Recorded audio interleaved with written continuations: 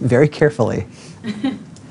so, narrative storytelling to me is just about taking people from point A to point B, um, not too quickly, and um, in a very clear and concise way. I like to equip my listeners early for the, for the pieces that they'll need later on. You know, I'm, I'm handing them tools here and there through historical context. Let's talk about where elves came from, or let's talk about the idea of vampires in Serbian culture. And then let's move on to this, this story that might or might not be related, and you're going to need those tools and you'll lean on them for that story.